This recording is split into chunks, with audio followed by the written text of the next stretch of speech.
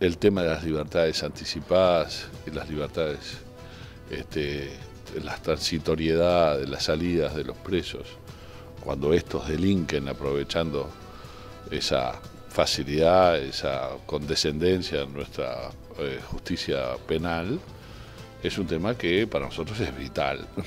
Aquel que reincide no puede tener salida transitoria porque vuelve a delinquir. El juez no le puede dar libertad anticipada a quien reincide en el delito.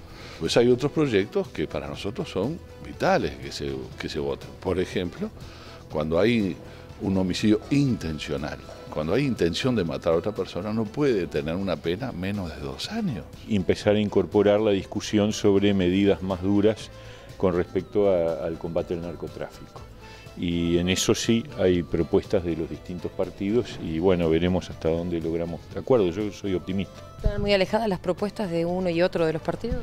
No, no, yo creo que no. Eh, hay un tema particularmente delicado que es la posibilidad de considerar eh, que un, lugar de, venta de pasta base este, no sea, digamos, no se ampare en el hecho de ser un hogar, para evitar su persecución por la vía de allanamiento, en la medida que empieza a ser un, deja de ser un hogar para convertirse en un establecimiento comercial. Y eso podría eh, tramitarse por vía legislativa. Es un tema que hay que analizar y nosotros estamos en línea con esa idea.